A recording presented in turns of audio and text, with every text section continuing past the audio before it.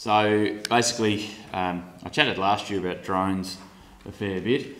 Um, this year, I've actually put my money where my mouth is and thrown a few bucks down on the table to have a crack at it. So um, basically today I'm just going to talk about taking these data layers. So you're going to see all these pretty pictures.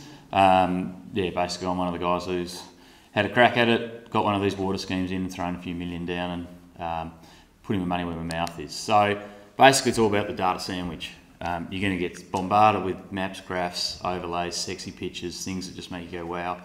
Um, what can you actually do to make money out of it? And from a grower's perspective, when you're going into irrigation expansion or re-optimisation or in some cases reinvigoration, um, what things are actually giving you bang for your buck and how does it go? So I got one of these once in a generation chances to take water to the back of the farm.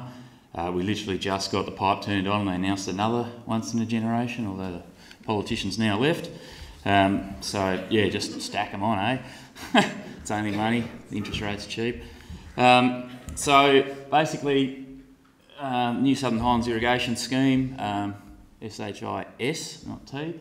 So it, options were there for spur lines. Uh, we already had irrigation at, at our main homestead. Um, drained marshland was a site that I had in mind, the other end of the farm, nine and a half k's away. Just uneconomical, almost stupid to try and push Clyde water up over the hill because I had to actually basically do a 300 metre lift to get it up to roll down to the other side.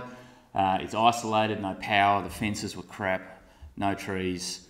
So it was a pretty good site. So here's old Google Earth. Um, so here's the Thorpe homestead down here with some irrigation, some linears and the mighty Clyde River that causes wars. A uh, bit of bush and this, this, what we call the square, this back basin of the farm. So I was interested, it's nine, nine or 10 k's that back corner and I was interested in converting dry land instead of land at Thorpe that had been irrigated for about 140 years. So I had to do something to make a bit of money that would justify this expense.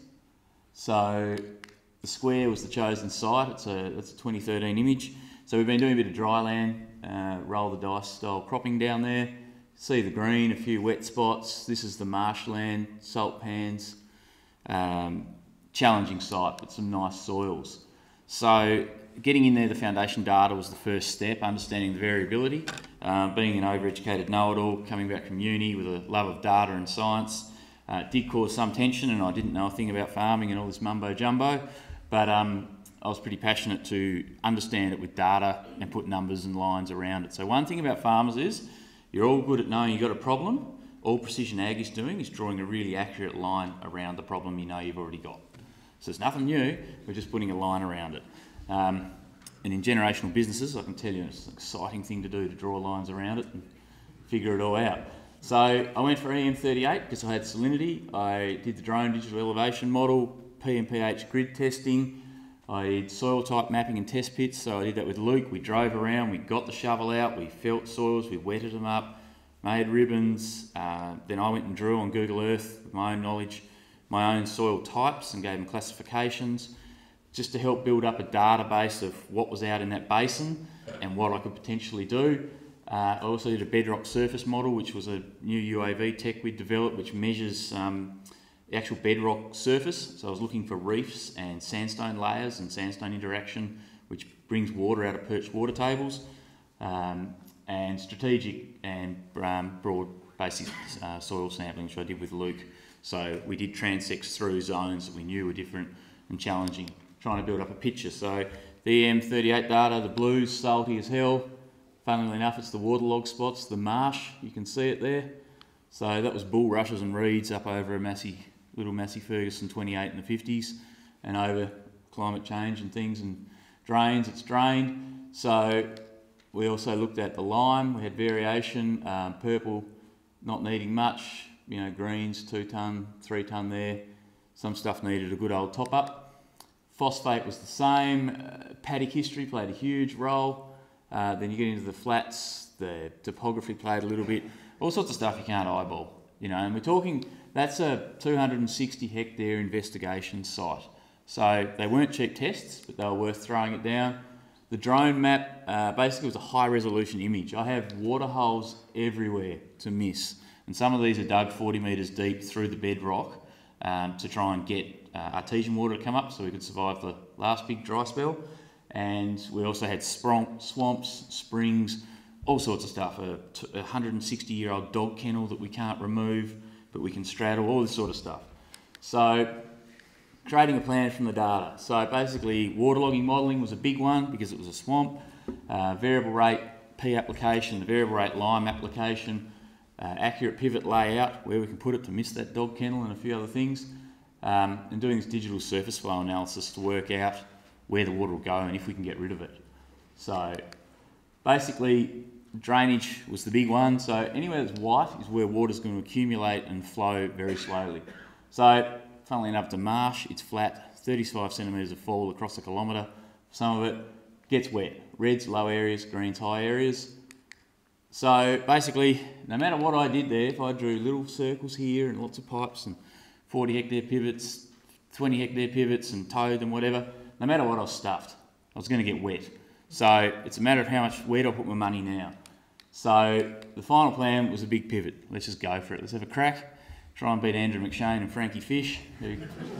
that was the goal. Uh, no, I went and talked to them a lot. But basically, yeah, pivot centre here by the road and just go boundary to boundary. Just fill her up with one big pivot. Try and bring down the capital cost. And the squiggly lines you see are all drains. And the idea was drain the landscape and then do surface drains. That's what I could afford. So from this pivot centre through the swamp, we dug a grade, a grade controlled drain, and then we went another three kilometres down through the neighbours to get it out of the water catchment. So the first step was drain the site, except I've got to put a big pivot on it and have a go.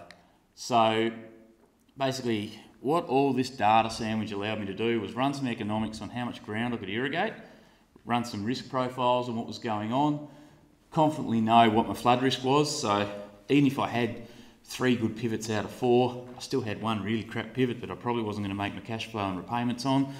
So, you know, it's all there. Quantify and model the benefits, like just modelling what the hell could go on. It's worth its weight in gold. So in the end, I went for a 942 metre pivot. I missed out on beating Frankie and Andrew. Um, it swings 202 degrees, gets about 160 hectares under it, and has a 1.7 mil pack, which I stood at one of these events and I was told can, can never work, but I can tell you it does. Uh, so effectively, because it's 200 degrees, it's about 3 mil in 24 hours across the entire site. Uh, everyone says big pivots are bad, in high instantaneous application rate at the end of the pivot. It's actually not that bad. It's only walking 3.2 k's, whereas like a 500 or 480 metre pivot is trying to walk 5 k's in 24 hours. So I'm walking two and a half k's less, so it's less water infiltration. It's actually better than you'd think. It's a big head bender, that one. Um, the outside six bands, I chucked on three wheels at huge cost. It's 20 k's of less wheel ruts. Like it all starts adding up. When you don't think about little pivots and how many kilometres of wheel ruts are inside little pivots, there's a bloody lot. But you can't tow a three wheel pivot. Um, the big drainage works was my big investment on it. Uh, I wanted full remote control, variable speed drive on the pumps because of the change in elevation and the high cost of the water. And I wanted to keep it simple, stupid. I just wanted a simple four wedges, very simple rotation, grow opium and grow red meat. That was the goal. Run it remotely from anywhere and be able to bring consultants in to help run it. So that was the goal, and we went for it. Um, so that's the project beginning. That's 80 hectares started up, all into poppies, year one. Drainage chucked in, so it showed that I was going to flood. Yep, that's how much ground I'm juggling here. That's the gamble. That's what I had to convince the bank manager around. How do I manage it? Drains. Gibbo hopefully will come cut some stuff for me later once I get some cash flow back. But to start, it's just surface drains. So this is a high resolution drone data. Um, there's a drain there that we're looking at in purple, and here's the slope on it. So all we're doing is cutting surface drains. I'm drawing in a line, putting in an auto steer, marking with a grader, and then bringing in a big dump scraper. Cheap as butter to work, but if you're going to cut surface drains, don't try and cast the dirt out and spread it and spread it and spread it. You just make a barrier and actually create your drain 10 metres away or 20 metres away where you cast it. Use a scraper, pick it up, take it away, put it somewhere else. And don't try and fill hollows, that never works. Uh, put it on the side of a bank or somewhere else. But uh, those things are one of the best things to cut a drain. So there's the big, what I call the mega drain. It's a one kilometre drain. It's only got 40 centimetres fall on it and it's right through the middle of the site to take all the water away. All dug on RTK and then continues out 3Ks. Positioning of the pivot was another big thing with 18 spans to deal with. had water holes everywhere. Where the hell to sit it all, where it'll fit, and actually getting it to straddle the cliff around here, we gained another 18 hectares. We could bring it around from 175 degrees to sort of 202. So planning, thinking ahead, and just modelling so we know how much TI water to buy and what we could potentially grow. This is a good example which won me a bag of donuts with the builders. It was going to straddle the water hole at the black lines where I said the wheels were going to go. And uh, that's where she went. So this, this degree of planning is so helpful when you're doing these schemes because they're big bucks. You know, 1200 bucks a meg, I bought 500. That's three quarters of a million just there. So half million dollar pivot. It all adds up. Like it all starts getting damn terrifying and you got your backside hanging out. Um, so the other thing I did was add VRI to the pivot. Um, again, it was basically $100,000 to put it onto the full pivot. Instead, I stepped it back, uh, span six I started. Because I'd modelled those inner spans, I knew surface drainage was going to control the bulk of the problems that I had. VRI for an extra, you know, 40,000 bucks wasn't going to add much.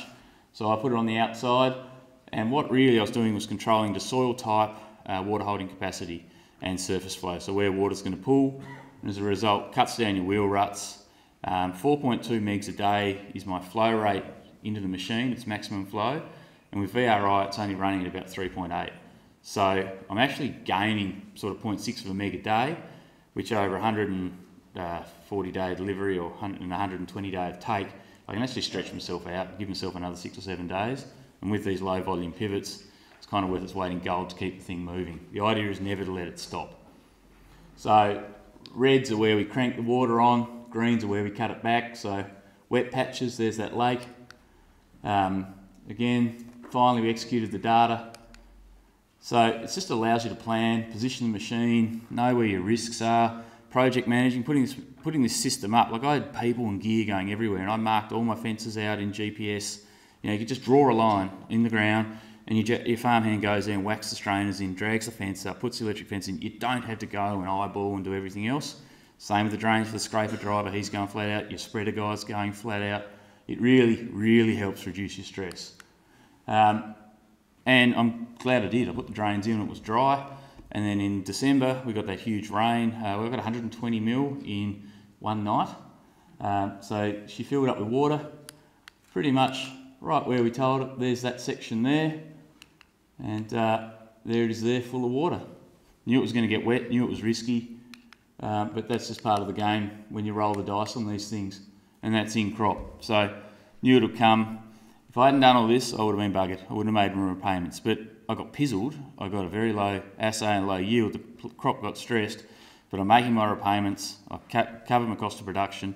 I had the data once this happened to then pull back all my inputs. So I cut the water off where it was buggered, put the fert in where it counted, cut my spray program back and brought my cost of production per hectare right down on where it counted. And it really helped me make my, make my bills pay. So my key messages are there's a hell of a lot of fruit out there. Um, pick your apples, pick your coconuts, get what you want to get out of it. And um, precision ag's sexy as hell, and there's a lot of things that get you hyped, but you need to pick ROI, bang for your buck. And for me, it's whole farm planning in greenfield sites.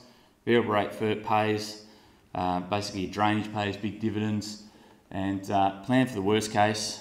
And uh, when it happens, there's no nasty surprises. When I had that big rain, I got up and everything was wet that I thought was going to be wet.